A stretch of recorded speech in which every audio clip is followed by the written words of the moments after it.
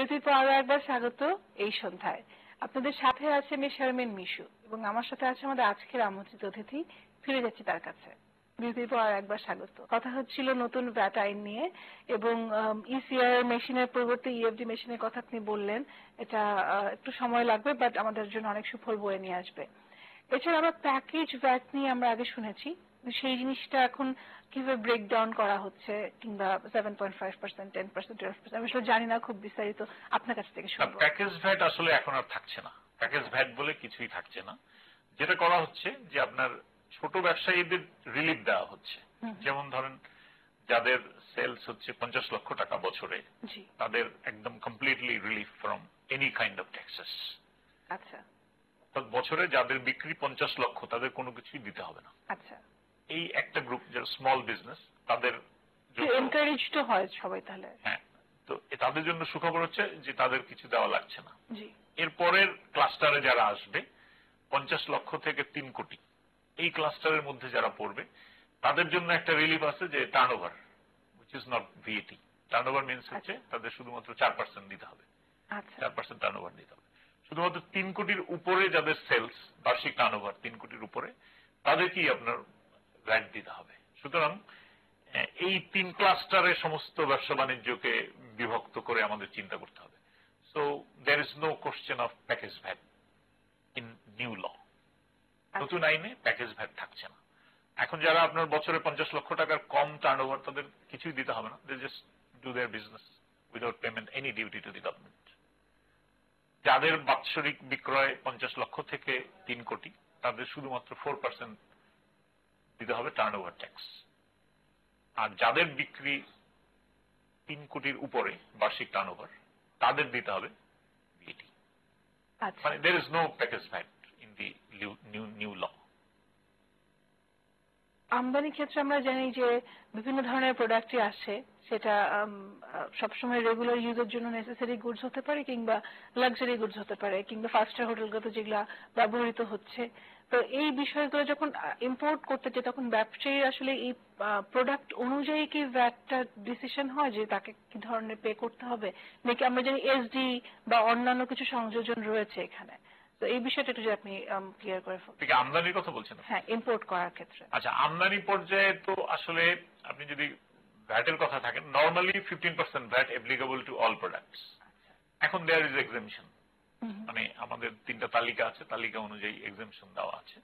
But normal course হচ্ছে আমদানি সকল পণ্যের উপরে আপনার ফিফটিন পার্সেন্ট ভ্যাট আমদানি পর্যায়ে আরোপিত হবে। এটা জেনারেল পলিসি আর স্থানীয় পর্যায়েও আপনার ফিফটিন পার্সেন্ট ভ্যাট এটা জেনারেল পলিসি এখন আমদানি পর্যায়ে এর ডেভিয়েশন আছে যে সবগুলোর উপর সব পণ্যের উপরেই যে ফিফটিন পার্সেন্ট ভ্যাট আরোপ হবে তা না। বা সব আইটেমের উপরে সাপ্লিমেন্টারি ডিউটি আরোপ হবে তা না। আপনার যে তিনটা তালিকা আছে আমাদের, শিডিউল আছে, সেখানে বলা আছে যে কোন সমস্ত পণ্য এবং সেবা আমদানির ক্ষেত্রে অব্যাহতি আছে, কোন সমস্ত পণ্য বা সেবা আমদানির ক্ষেত্রে ব্যাট আছে। এরকম তালিকা দেওয়া আছে এবং আমদানি পর্যায়ে নর্মালি ওইটাই ফলো করা হয়। আচ্ছা। পুরাতন ব্যাটার্ন এবং নতুন ব্যাটার্নের মধ্যে অনেক অনেক পার্থক্য রয়েছে। যদি আমি একটু আউটলাইনটা জানতে চাই মোটা দাগে যে বেসিক যে জিনিসগুলো একদম চোখে পড়ছে কিংবা যেটার কারণেই চেঞ্জগুলো হচ্ছে সেগুলো যদি আপনি একটু বলেন। পুরনো ভ্যাটাইন এবং নতুন ভ্যাটাইনের মধ্যে ফান্ডামেন্টাল পার্থক্য হচ্ছে আপনার it is a online system online base VAT act আর পূর্বেরটা যেটা মূল্য সংযোজন কর আইন উনিশশো একানব্বই, সেটা ছিল আপনার ম্যানুয়াল সিস্টেম। নর্মালি সবই আমরা হাতে কলমে বা ব্যবসায়ীরা হাতে কলমে করত। আর এইটার যখন কমপ্লিট ইমপ্লিমেন্টেশনটা হবে, তখন এটা হয়ে যাবে কমপ্লিটলি অনলাইন বেস মূল্য সংযোজন কর আইন দু হাজার বারো। এটা একেবারে ফান্ডামেন্টাল ডিফারেন্স অর্থাৎ হিউম্যান ইন্টারভেনশন থাকবে না কোথাও। আপনার পেমেন্ট হইতে শুরু করে আপনার ডিক্লারেশন হইতে শুরু করে রিটার্ন সাবমিশন হতে শুরু করে আপনার অডিটিং হইতে শুরু করে, এবং all the activities of the VATs ভিএটির যত রকম কার্যক্রম আছে, সবই হবে অনলাইন বেস এটা একটা মৌলিক পার্থক্য। বিরাট পার্থক্য। আর ছোটখাটো পার্থক্যের কথা আপনারা যদি বলেন, তাহলে যেমন একানব্বই এর মূসক আইনে মূল্য ঘোষণার একটা ডিক্লারেশন দিতে হতো। প্রত্যেকটা আইটেম যারা ম্যানুফ্যাকচার করবে তাদের এক ধরনের ডিক্লারেশন লাগতো যে আমার এই মূল্যটা এই প্রাইসে আমি বিক্রয় করব। এবং তার উপরেই ভ্যাটটা আরোপিত হতো। আচ্ছা। এখন বিজনেসম্যানদের ফ্রিডম দেওয়া হয়েছে। They need not to declare any kind of declaration to the division office এটা একটা বিরাট যে তাদের দরকার নাই। তারা নিজেরাই তাদের ভ্যাটের হিসাব করে রিটার্ন সাবমিট করে দেবে। এটা একটা বিরাট চেঞ্জ আসছে যে ডিক্লারেশন দরকার নেই। আর একটা পরিবর্তন আগে যেমন অ্যাকাউন্ট কারেন্ট সিস্টেমটা ছিল, অর্থাৎ প্রত্যেক বিজনেসম্যানকে একটা অ্যাকাউন্ট কারেন্ট মেনটেন করতে হতো। এবং সেই অ্যাকাউন্ট কারেন্টে তারা আগে টাকা জমা দিয়ে রাখতো, তারপরে যখন আপনার পণ্য খালাস করতো, তখন ওখান থেকে মাইনাস করতো ম্যানুয়াল সিস্টেমে আর আপনার এই নতুন ভ্যাট আইন দু হাজার বারোতে আপনার অ্যাকাউন্ট কারেন্ট মেনটেন করার কোনো প্রয়োজন নাই। তারা রিটার্নের মাধ্যমে সবকিছু পরিষ্কার করে দিতে পারবে। আর হচ্ছে আপনার এই কার্যক্রমগুলো যেমন রিটার্ন সাবমিশন এটাও ইন কোর্স অফ টাইম এখন কমপ্লিটলি হয় নাই but in the long run আপনার রিটার্ন সাবমিশনটাও অনলাইনে হয়ে যাবে। আচ্ছা। যেমন রেজিস্ট্রেশনটা এখন অনলাইনে হচ্ছে তেমনি রিটার্ন সাবমিশনটাও অনলাইনে হয়ে যাবে। তারপরে আমাদের আরও অনেকগুলো মডিউল আছে সেগুলো অনলাইনে হয়ে যাবে।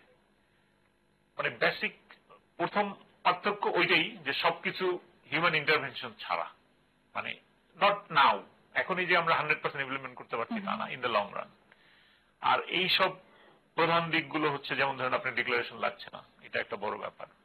তারপরে হচ্ছে আপনার এই যেটা বললাম যে অ্যাকাউন্ট কারেন্ট নতুন আইনে লাগছে না।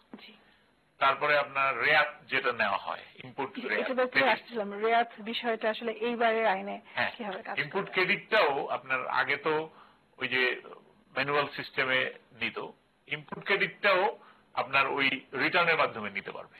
আমি আমদানি পর্যায়ে যে ভ্যাটটা দিয়ে আসলাম সেই ভ্যাটটা তো আমি এখানে ইনপুট ক্রেডিট পাবো। উৎপাদন পর্যায়ে।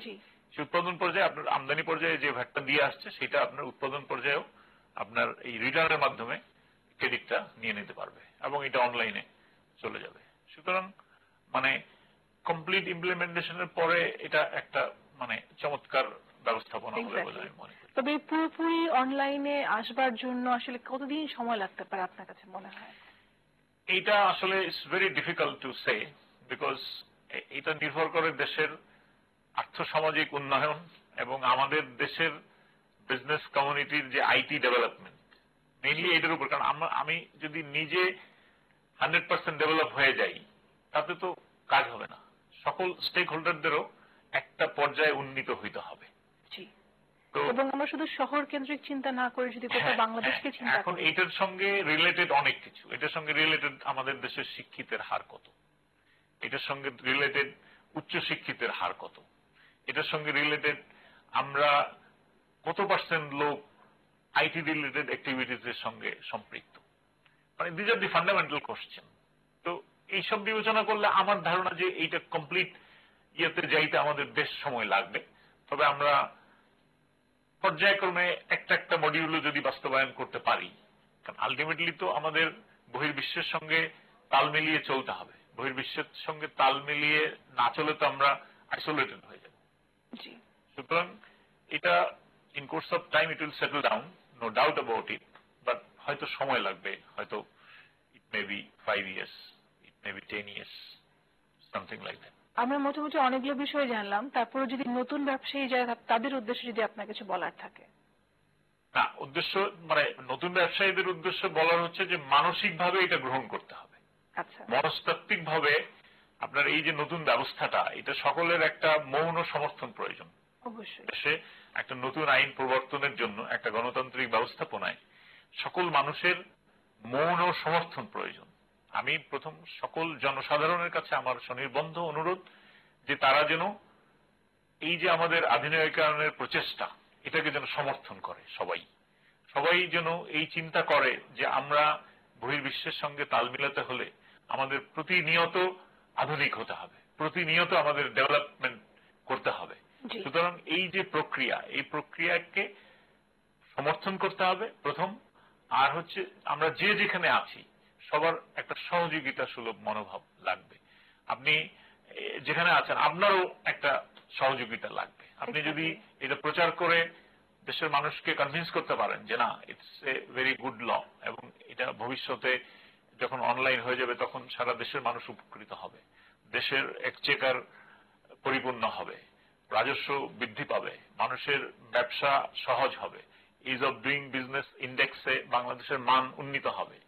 সুতরাং এক্ষেত্রে আপনাদেরও সহযোগিতা প্রয়োজন। সেই জন্য নতুন ব্যবসায়ী না শুধু, আমি দেশের সকল মানুষের কাছে এর এই যে নতুন আইন আমরা বাস্তবায়ন করেছি এবং এটার যে অগ্রগতি এবং এটার যে যাত্রা বা পথ চলা, এটার সমর্থন দরকার আছে এবং সহযোগিতা দরকার আছে।